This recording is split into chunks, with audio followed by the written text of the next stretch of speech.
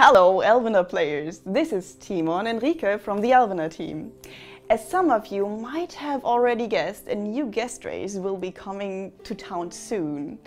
And this time it's actually two races in one, the Orcs and Goblins. Timon, what's up with that? Orcs were always high up on the list of the races you want to see, so they were a logical next step. But since orcs are done in many games out there, we thought about how we could still surprise you and give them a unique Elvenar touch. And that's where the goblins came in. They live in a, let's say, strange collaboration with the orcs. On the one side, we have these mischievous but somehow genius little creatures that do all kinds of experiments with mushrooms and orcs.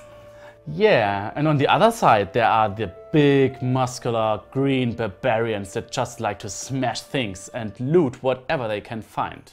And you are the one who organizes this unholy union. First, you learn how to breed orcs in your armory. So you are gonna need at least one or two armories on level 20. Better start upgrading soon. Then you build plenty of mushroom farms for your cute critters, goblins.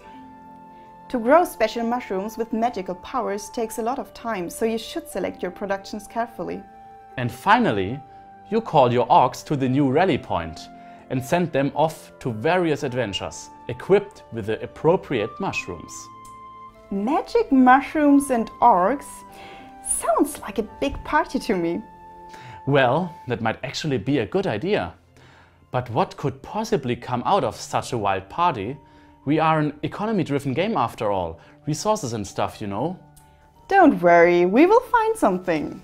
Okay, your call. Timon, what will happen to the orcs breeding armories once the orcs and goblins move on?